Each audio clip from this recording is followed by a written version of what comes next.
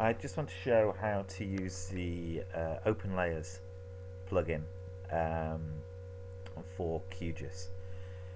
As you can see, we have uh, QGIS open and I've loaded up a background vector map which has the outlines of all of the study areas for the Earthwatch projects in Oman.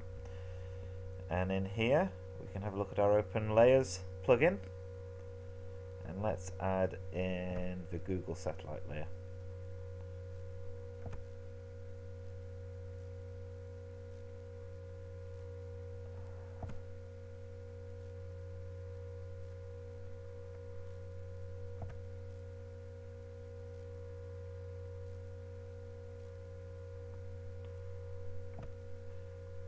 see our layers bar so now I want to now that we have both sets in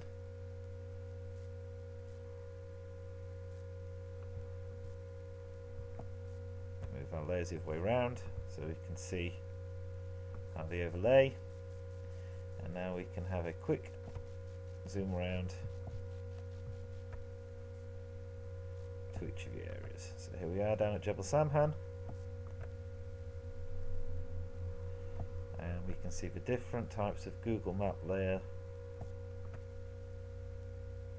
coming through. Now, this is beautiful imagery. Uh, this is based upon the QuickBird, so we're looking at about half meter panchromatic, so black and white, so we can see these tracks coming across here.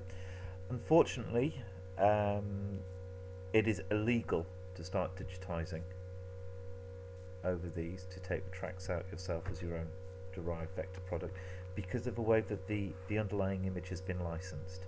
Google uh, gets the license to reuse these images and part of that license means that you cannot derive new content from this data. Uh, this is really important. Um, we are not allowed to uh, mess around with this imagery. You know, we have to use imagery under its license. So, oh,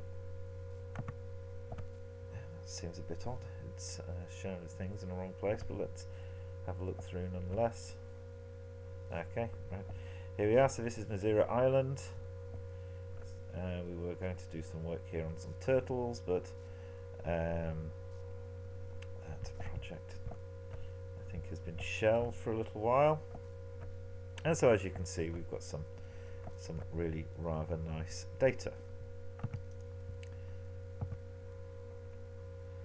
Okay, and if we zoom to their extent, there we are, and we can have a look at oh, this uh, Wadi Sareen data here.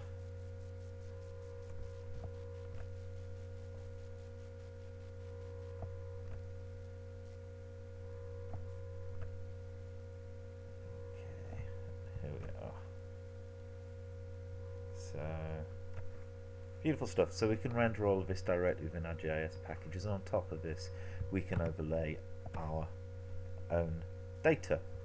It's fantastic. Okay, thank you.